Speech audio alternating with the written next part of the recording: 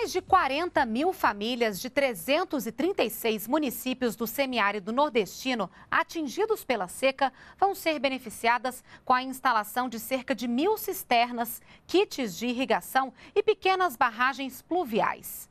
O investimento total é de 135 milhões de reais por meio do programa Água para Todos, ação do Plano Brasil Sem Miséria, que tem a meta de garantir acesso à água para populações carentes.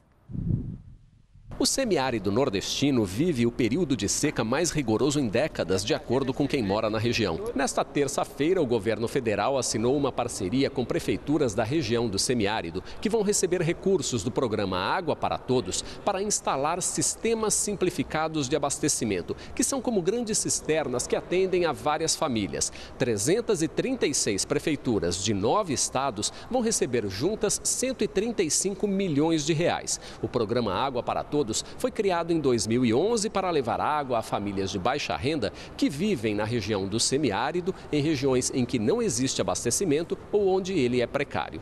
A meta do Água para Todos é chegar ao final de 2014 com 750 mil cisternas instaladas. Já entregamos, senhora presidenta, 370 mil cisternas e 677 para ser preciso. Agora, em agosto, nós estamos entregando 502 cisternas por dia. E, das, e essas 370 mil, senhora presidenta, já representa quase 6 bilhões de litros de água que podem ser armazenados no semiárido nordestino. Além do programa Água para Todos, o governo federal tem ainda outras ações que ajudam a população do semiárido a conviver com a seca. Estamos ampliando assistência técnica através, através do Brasil Sem Miséria, estamos trabalhando em parceria com a Embrapa, distribuindo sementes, estamos realizando um conjunto de ações junto com os governos estaduais e com os municípios para que a gente possa comemorar não só o fim da miséria no Brasil, mas que possa comemorar com a volta das chuvas, que a gente possa rapidamente garantir também o fim da miséria para a população do Nordeste. A presidenta Dilma Rousseff explicou as ações do governo para apoiar a população atingida pela seca. Nós montamos uma grande operação.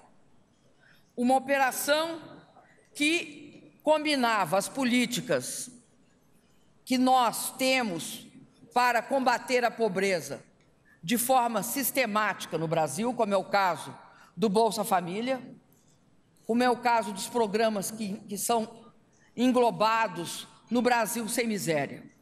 Mas tomamos também ações específicas além das estruturantes que estavam em andamento. O governo federal botou 5.700 carros-pipas e colocou o Exército Brasileiro coordenando a operação para evitar qualquer uso desta operação para ações que no passado se chamavam clientelistas. O carro-pipa tem a ver com a retirada da água ou em barragens ou do rio ou de barraginhas do que for e tem a ver com armazenamento de água tanto para consumo humano quanto para a produção das propriedades, nas diferentes propriedades de todos os municípios do semiárido. Todas as iniciativas tomadas antes, tomadas durante e tomadas agora, elas permitiram uma situação melhor